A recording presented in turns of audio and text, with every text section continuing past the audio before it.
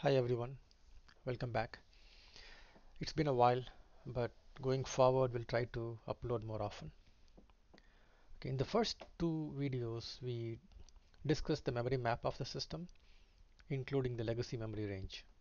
And in this video we'll look into the overall BIOS boot flow at a high level.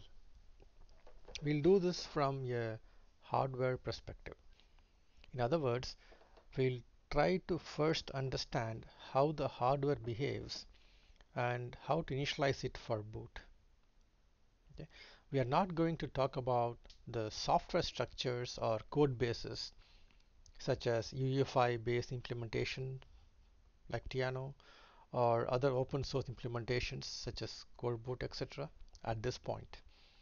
Later on, once we understand what the hardware expects, then we can look at an overview of the UEFI based implementation. Okay.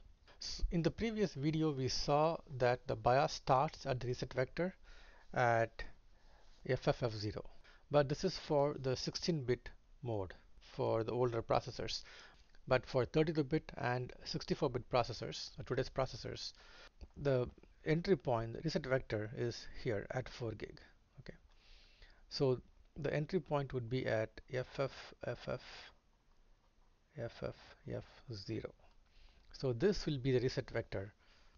So when the power is applied and the processor starts fetching code, it will start fetching at increasing addresses until there is a jump or a branch instruction.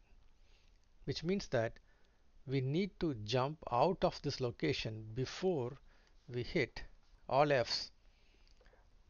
Now, where do we jump off or branch off? Depends on the BIOS implementation. In legacy BIOS, we do a far jump to the legacy reset vector. So from, from here to a far jump to here at this point. This is where the legacy reset vector is. Since at power up, the F&E segments at 1 MB are aliased to those at 4 gig. Let's not dwell too much into this since most of the industry has transitioned out of using 16-bit BIOS. Okay. In today's implementation, the BIOS switches to 32-bit mode and continuous execution at the 4 gig area. Okay, so what does the BIOS do after reset? Let's look at a sequence of steps that it does at a very high level and later on we'll drill into each one of those in detail. It switches to 32-bit mode because we are executing at the 4 gig location which requires 32-bit code. Then it locates and loads the Ucode patch. What it means is that the BIOS will carry some microcode patches which it will load into the processor during boot if required. Then it will set up cache as RAM. And until this point we're executing out of flash region and we'll not be able to use any memory data structures.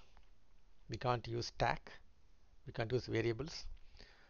So it's going to be a stackless code until this point.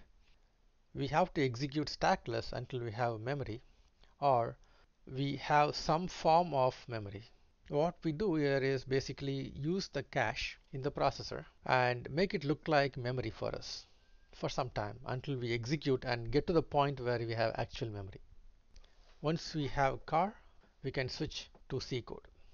Then the BIOS identifies the platform information like you know what kind of platform you're running on based on some platform ID jumpers that you can read or also get user inputs from the BIOS setup options as to what the user wants some of the options to be. And then it passes those information to the silicon init module. Now the silicon init module is a vendor proprietary code it typically consists of initializing memory and in a multiprocessor system it also involves setting up the interconnect between processors. Okay, so if you have four socket system, how do you set up the interconnect between the processors? How do you route the traffic between them? So those things will also be done at this point. Now, once step five is complete, the basic silicon functionality has been initialized. Okay, memory is available and there's no point in still using cache as memory. So we tear down car and use main memory. Then we wake up all the CPU cores in the system and initialize them. Now typically only one core or one thread comes out of reset.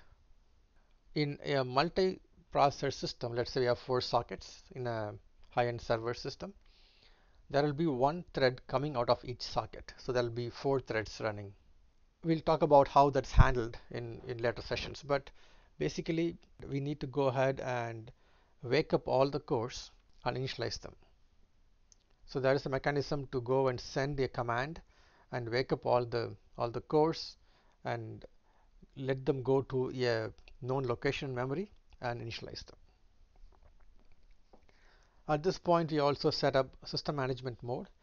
We, we touched upon SMRAM in the previous two videos, and this is where we set it up.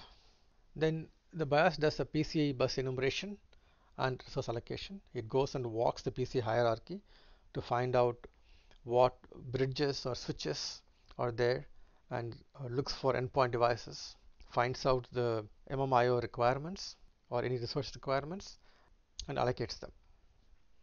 While you are doing PCI enumeration, if you find option ROMs, then the BIOS will go and launch the option ROMs.